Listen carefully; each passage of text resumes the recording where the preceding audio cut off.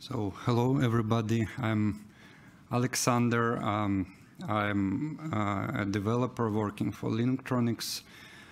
Um, my interests are interests are embedded systems, Yocto, and uh, Linux user space. So I'm really not a kernel developer. So the subject today is uh, how do we survive uh, that fateful date?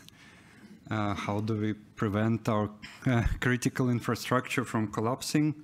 But first, uh, I want to quickly uh, describe what, what is the problem. And to know what is the problem, we need to first um, uh, look at what, what is time, how is time represented on Unix systems and it's an integer that contains the amount of seconds since 1970. It's very simple. It's very convenient. It's not a structure. You can use elementary operations on it. Um, but uh, the problem is that uh, nobody made a standard that says how many bits that integer should contain. And so uh, implementations uh, uh, decided to just use elementary uh, uh, integer data types for time, and that create, created a big problem. Um, so uh, what is uh, the problem? Uh, so until quite recently, the biggest integer type you could use in C was called long, and um, long is uh, defined rather loosely as it must contain um, at least 32 bits and on 32-bit systems, it, that's exactly how many bits it contains. Um, because um, integer types in C, um, it's recommended to map them directly to hardware, and 32-bit hardware can uh, manipulate uh, easily maximum of 32 bits with CPU instructions. And at the time, nobody thought that uh, this is not future-proof and this will actually overflow in 2038. And you see what happens on the left side. So we run out of bits and the whole thing uh, flips over. Uh, so um, I want to show you a demo of what is actually going to happen. Um, so it's a live demo and uh, uh, to see the screen. Is the is the font big enough for you to see it? Yeah. Okay. Um,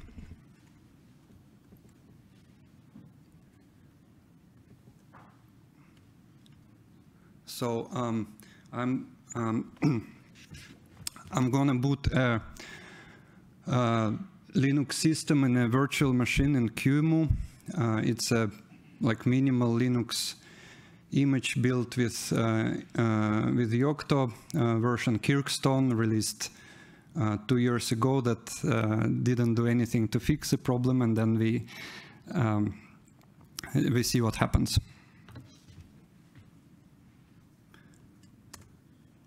Dun, dun, dun, Okay.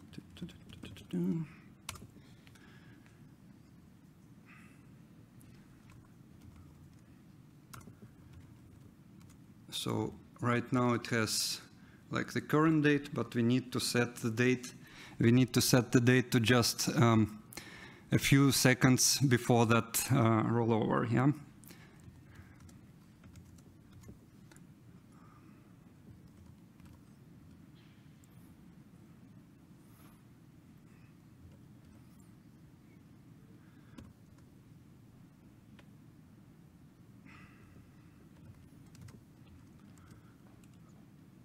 think I got it right. Yeah, so it in a few seconds it should roll over. Yeah, there you go. So, um, so now um, at this point, anything that relies on correctness of the system date will no longer work. I guess um, like security certificates that have validity dates in them or HTTP cookies or anything else. Um, so let's uh, see if we can at least list some files. We can, but only once. Uh, then uh, now we cannot really run scripts anymore. And uh, I guess at this point, we really have something that is connected into power but doesn't do its function. So let's call uh, the vendor and the vendor will tell us, have you tried switching it off and on again? Um, so that's what we do. Uh, okay. Uh, so we can't even switch it off, assuming we even had a working command line at this at this. And okay, help. And even the even the command line is no longer interpreted correctly. We typed help, and it thinks we typed p. So there you have a system that is plugged in, but is completely non-functional. And the only thing you can do at this point is to physically walk to it and pull the plug. And uh, if that is a system that uh, supplies electricity, controls traffic, or um, uh, operates uh, something in an intensive care unit, you really don't want to be dependent on it. Um, okay, so next I'm going to show you a second demo which is done with a newer version of Yocto. Um, uh, so this is uh, Scarthgap, which was released uh, three months ago, and we do the same thing. Yeah.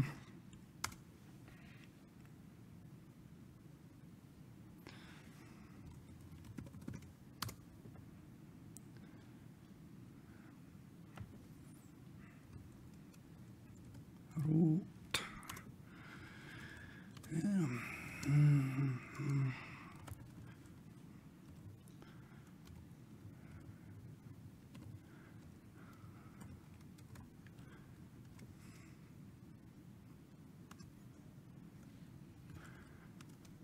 Okay, so it rolls over at, at 7 seconds past 14. Okay, so uh, it's still a 32-bit system, but it seems to be doing better. And we, we can...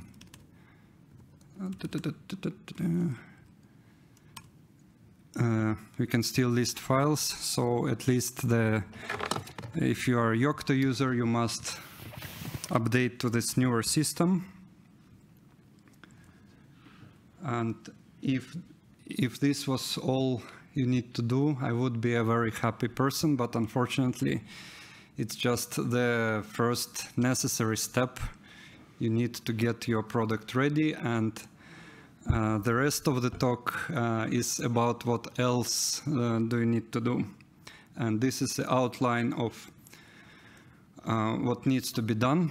So first of all, um, uh, you well you need to replace a 32-bit representation of time with 64-bit representation of time throughout your software stack.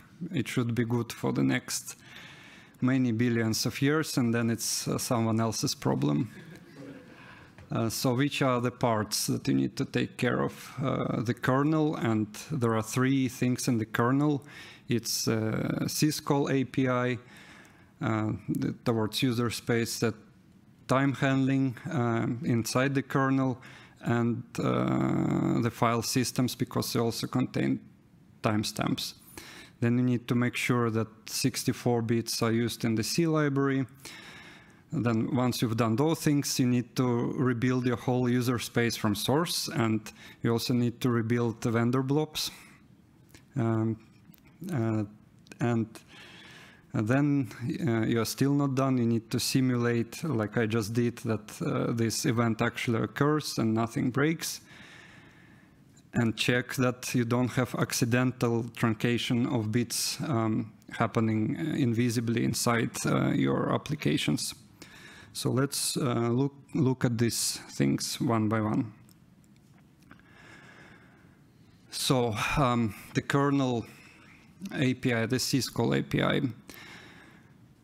Uh, so 64-bit systems always used 64 bits, so they're safe. Then uh, there are like old classical 32-bit systems and the recent ones. So the recent ones like RISC-V and uh, X32 also were designed from the starts to do this right. But uh, the classic 32-bit uh, systems got an API extension in 5.1 and the old uh, APIs uh, kind of stayed as they were because you know the philosophy of Linux kernel that we never break things. If there is an API, we will support it until the end of time, but you can optionally disable it. So these um, classic 32-bit systems are ARM, MIPS, PowerPC, 32-bit x86, and a few like more esoteric ones. So you need at least that kernel 5.1. Then there is internal time handling in, inside the kernel.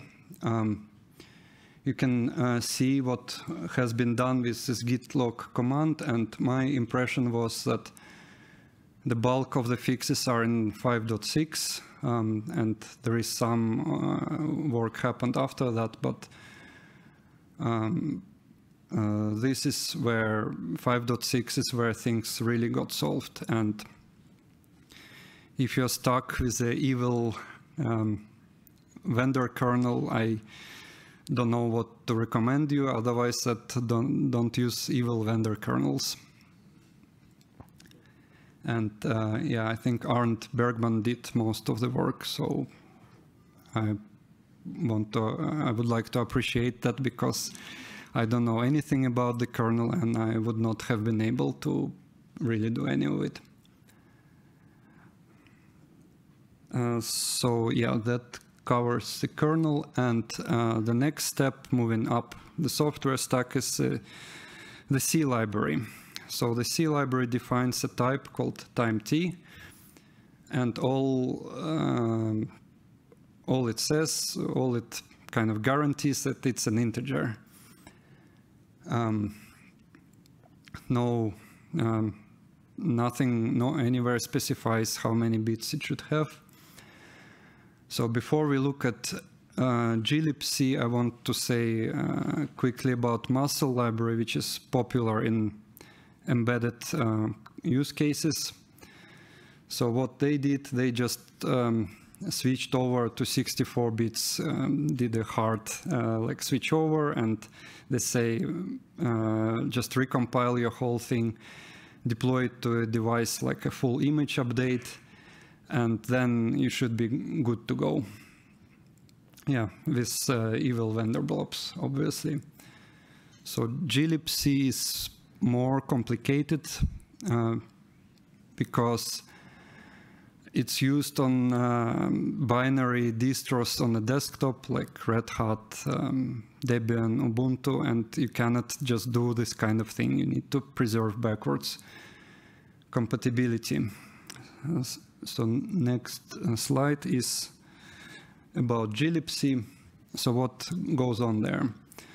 On 32-bit uh, system, glibc offers a pair of every um, time-related uh, function um, in 32-bit versions and 64-bit versions that you can see with tools like NM that there is like this time symbol that 32-bit that will break in 2038 and there is this underscore underscore time 64 that is the one that you should be using so by default, if you build your software, you will get the 32-bit version, so that's not the right thing. And you need to opt into the right version by passing this magic definition to the compiler, and you rebuild the full system.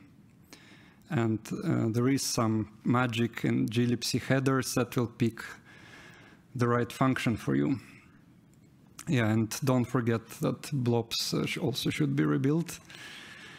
Um, and now I can explain why uh, older Yocto breaks and newer Yocto does not. It's because between those two versions, we actually set this globally in a uh, configuration and Yocto is a source-based toolkit for making Linux distributions. So when this is set globally and you rebuild, you get a, a stack um, that works. Um, so all of this, again, applies only to classical 32-bit systems, uh, ARM x86 and PowerPC and MIPS, and the RISC-V uh, has um, only 64-bit from the start. Um, so we are not done with glibc yet. Uh, this header magic is all nice, but it doesn't work in two cases. Um, first is when somebody directly uh, links with 32-bit uh, symbols like Rust, for example, I'll get to that, or they use dlsym to look up the wrong, uh, the wrong version. Um, so I have an example here in glib where they open this clock get time and this isn't uh, safe. So if you want the 64-bit version, you need this underscore underscore stuff. And that's uh, the fix I made and submitted to them. So now we get we get to Rust, yeah. So it's my chance to raise concerns about Rust. Um, pretty much everything uh, in there uses this libc crate that interfaces with the C library and that crate uh, again uh, links with 32-bit um, symbols in glibc and it will break in 2038 quite badly. And this was actually caught by one of the QA tests we have in Yocto. So there is a pull request to fix this stuff. Um, I have a link, but it's been stuck in review hell for a very long time now. So if Rust matters to you, if your product is 32-bit, then you should head to that pull request and see what you can do to push it forward. And once it's merged, again, that's not the end of your trouble because the way Rust works is that it, um, uh, when it builds a component, it kind of pulls all the dependencies into the build tree and makes a gigantic static executable out of it. There is no concept of a system library that you can fix on the system and then everything is fixed. So everybody needs to update to a libc crate that's fixed, then they need to make a release, then uh, that release should be picked up by somebody using that component, and it's kind of a recursive process with unclear end to that recursion until everything is in the ecosystem gets uh, the fixed versions. But hopefully there is still 14 years to fix this stuff, and I hope they get to it. So let's um, uh, assume everything I mentioned so far has been checked and fixed. Um, how do you check that your system is actually safe, that it's ready for year 2038? So you need to have a clear definition of what it means like, that you have a working system. Um, and you need tests that implement that definition that tests should be automated and that test should be installable on your target system and not just something that's run as part of your build process on a different machine. And then you boot your system and run those tests um, with your system clock set to like beyond that date or you can test the rollover as well, like I showed you previously. Uh, so I want to show a specific example of this, how we do this in Yocto. So there is a, a link to the definition of a working system. It's a set of um, like build and test configuration and we run this on our auto builder cluster uh, against every change that is proposed. And if your change is breaking something, that change will be rejected. So we only do this in the QEMU emulator. Unfortunately, we don't have resources to do real testing on targets. So for year 2038, I made a private modification so that uh, QEMU would start with the system clock set to 2040. This is how you do it if you are a Yocto user. And a number of issues were discovered, even with everything that um, was fixed in the previous slides, there are still problems. And uh, that's uh, what I'll talk about next. So before we talk about that, I want to talk about importance of installable tests, right? It's something that you don't just run as part of your build. You, it's something that you install on your target system and you run it in your actual target environment because historically in the GNU project uh, there was no like concept of cross-compiling and cross-installing the artifacts. You build and run things all on the same machine. Unfortunately, this is really getting in the way, and um, GNOME project um, has got it right, and they have a very nice uh, document linked here that explains in detail why, why this is important.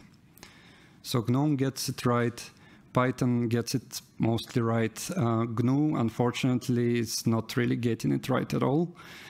And uh, for some of the GNU components, the most important ones, we kind of hacked around it, but there is no uh, universal way to do installable tests. But if you are in charge of your of some component, make sure that your tests can be packaged and installed.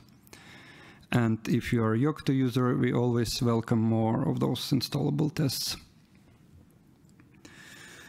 Right, so what are the issues that this testing can expose?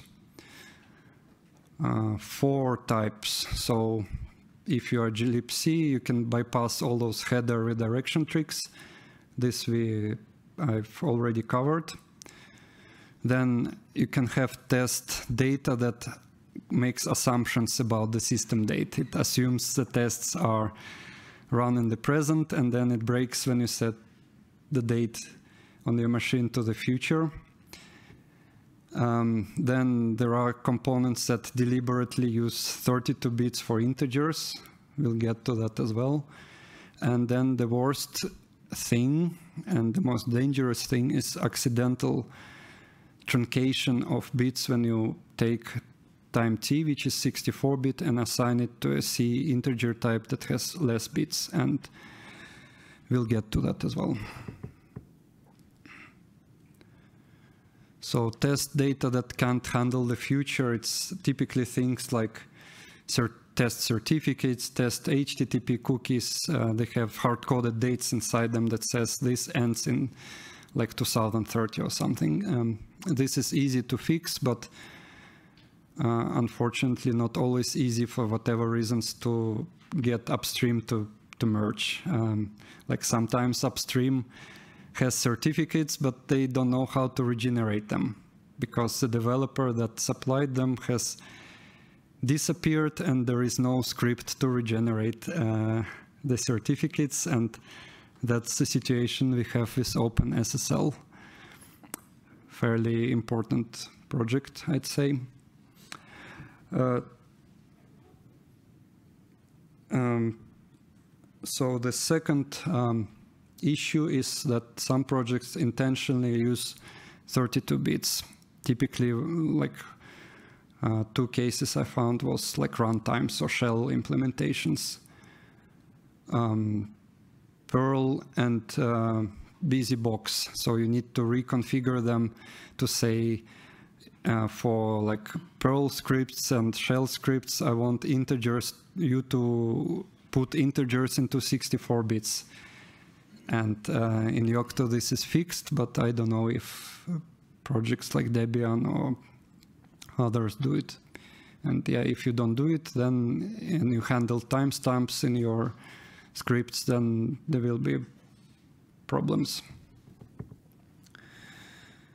And, and now we get to accidental truncation. And before that, I want to talk for a bit why C is not my favorite programming language. Um, and it's not because of memory safety today, a lack of memory safety. It's because of the way it handles um, elementary integer types. So first of all, the definitions are vague. It says int is at least 16 bits, long is at least 32 bits, long long is uh, at least 64 bits, and then you can assign one to the other, and uh, the compiler is totally fine with this. It will not warn you. It assumes you know what you're doing, and um, if you make a mistake, it's like um, programmer's fault, and everybody is a world-class expert in C. Yeah.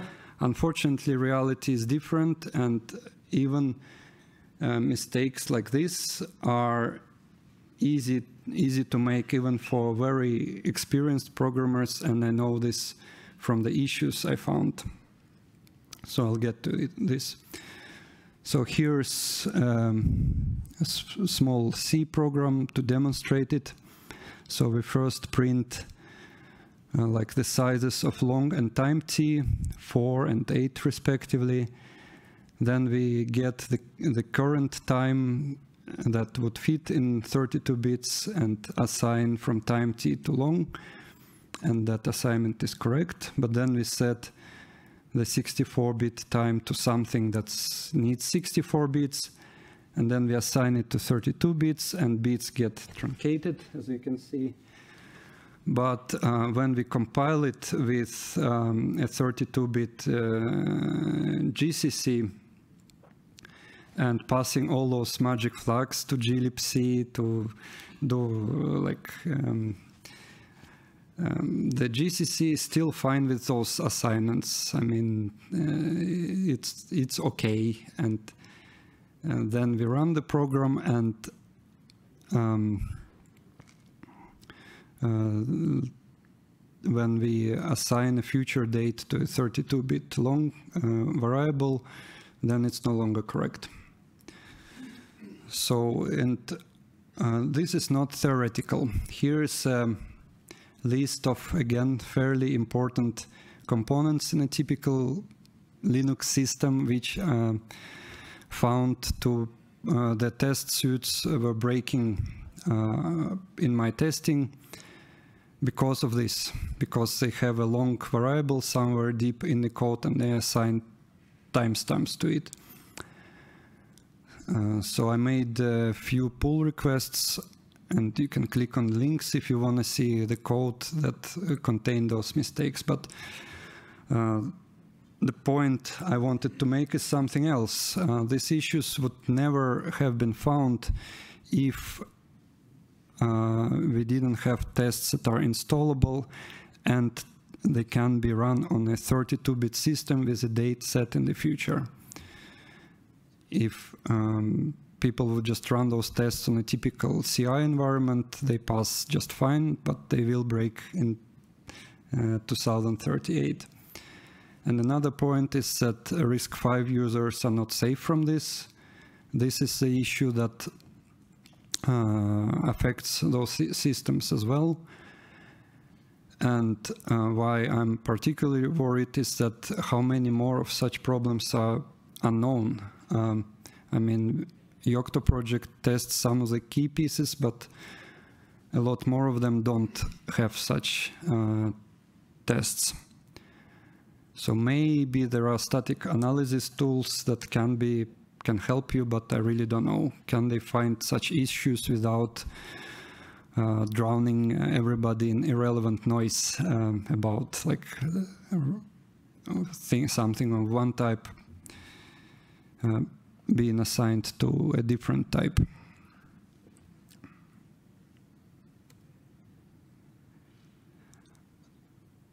The next subject is um, given what I just said, that it's not possible to conclusively prove that a system is safe.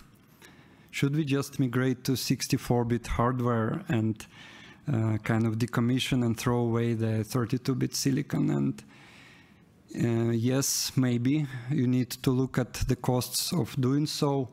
Maybe it's actually cheaper and easier to do that. 64-bit uh, systems are much safer, but they're not safe. And why is that? Quite often they contain 32-bit compatibility layers, like a specially installed 32-bit library supporting some evil vendor blob that was delivered decades ago and nobody has the source code for, but that blob performs a critical function. So you need to check your system that you don't have that. And another possibility is uh, that you accidentally write time t into int. And uh, it's the same issue as just shown, writing time t into long bits will get truncated and uh, time will not be represented correctly. And then what's also possible is that various protocol data formats, uh, like things you send, bytes you send on the wire, um, encode time in 32 bits, especially if they're proprietary. So you need to check for that. And at the end of the day, you really should verify your systems same way as uh, like 64-bit, same way as um, 32 bits. Okay, so conclusion-ish, because I don't have a nice conclusion, I can only say that there is, I think there is no way to conclusively prove that any product is safe. There are only degrees of likelihood. And the scariest sub-problem is this uh, truncation because of how C was designed. So to try and ensure this truncation doesn't happen, you need tests for a complete system and you need to run them with a system clock set to after 2038. And uh, I want also to kind of raise this point that I don't think it's okay when vendors ship black boxes that run critical infrastructure. The public does need to know that what is inside those boxes and we need legislation that requires software bills of materials to be published for everything that that our lives depend on. Um, uh, and that would be the first step, but ideally the source code as well. It doesn't need to be under GPL, but it needs to be available for inspection, but one step at a time, I suppose. And uh, given what I said, um, I won't be traveling or staying in a hospital in on that date. But unfortunately, it's in the middle of winter, at least in the northern hemisphere. We need heating, we need electricity. So let's see how it goes. And uh, for Yocto users, there are a couple of links that um, uh, you should uh, check. And I think we have about six minutes, so thank you very much, and please, questions.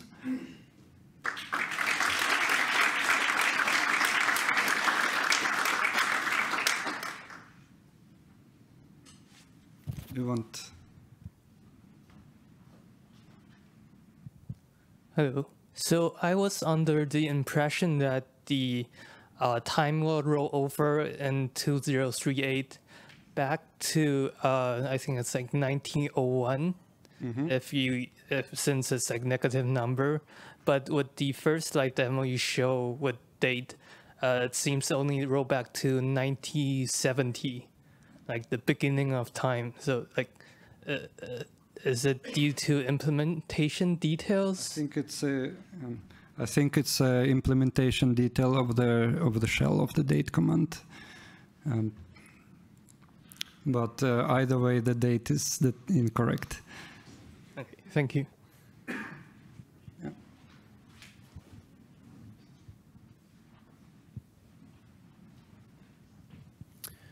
Thanks for a very interesting presentation. I've been uh, exposed to this problem myself and I know how complicated it can be.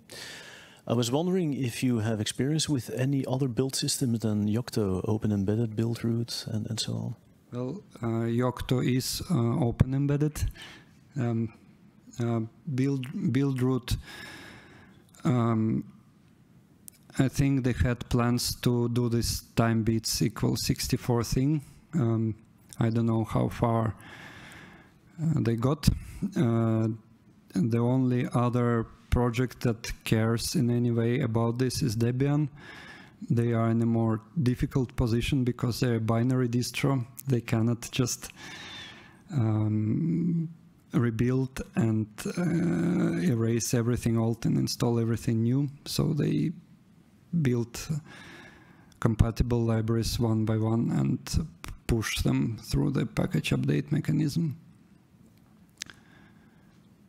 Um, does that answer the question? Yeah, sure it does. Thank you.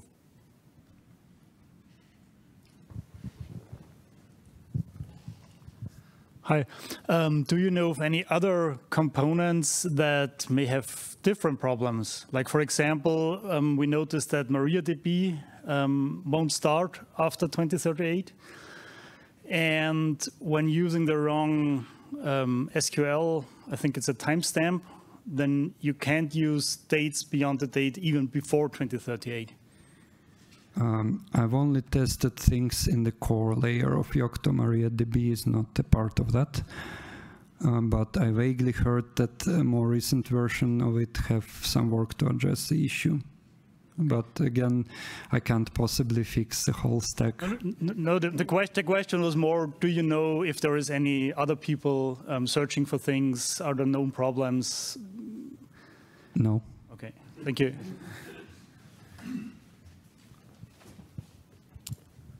So, as the author of the Rust patch mentioned before, uh, uh, there's a lot of related issues. For instance, if you use the syscalls directly without going through glibc, the, the preprocessor symbol won't help you at all.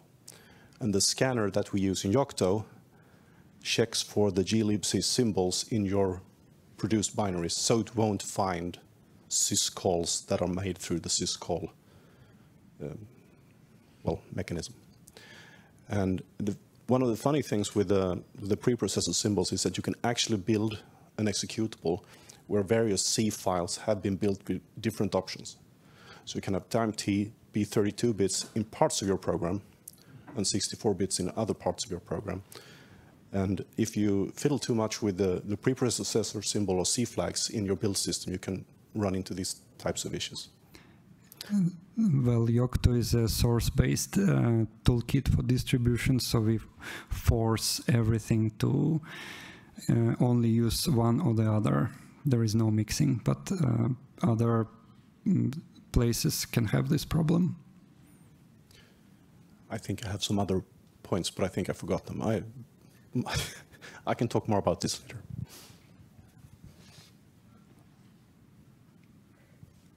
Questions more? We have still uh, one minute.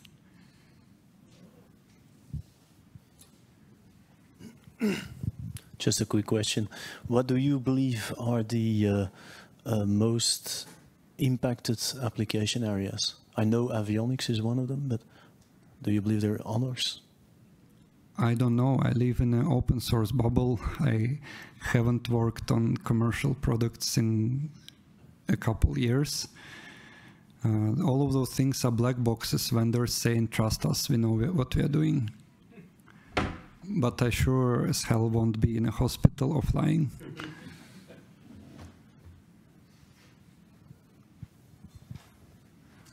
So from Railway, I can tell you that people are now asking for solutions, for analysis, for how can we roll it out now. Mm -hmm. So